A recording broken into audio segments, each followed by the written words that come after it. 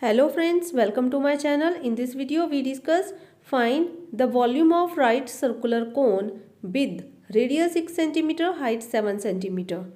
And second part radius 3.5 cm and height 12 cm. So in these two questions are given we find volume of right circular cone. So in the first part radius 6 cm, height 7 cm. Radius r it is equal to 6 cm, height is at that is equal to 7 cm.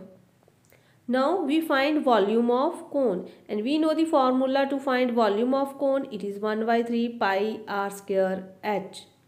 It is equal to 1 by 3 pi. Its value is 22 over 7 r r square. r is radius. That is 6 centimeter square. H h is height. It is 7 centimeter. So 7 in denominator 7 in numerator. Both are cancelled on the table of 7.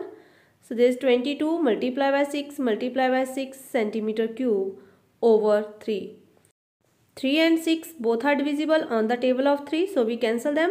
22 multiplied by 6 it is 132 it is multiplied by 2 it is equal to 264 centimeter cube. So volume of right circular cone is equal to 264 centimeter cube.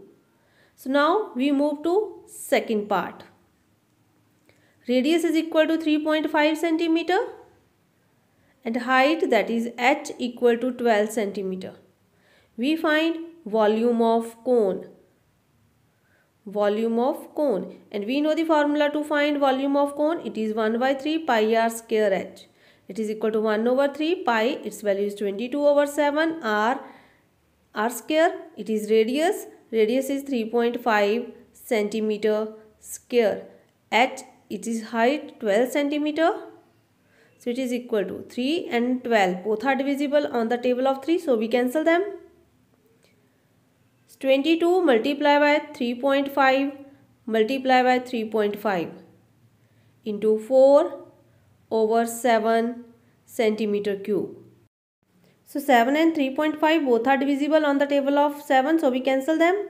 22 multiplied by 0.5 it is equal to 11.0 multiply 3.5 multiply 4 11.0 multiplied by 3.5 it is equal to 38.50 so we also write it as 38.5 multiplied by 4 so 38.5 multiplied by 4 we get answer 154.0 centimeter cube.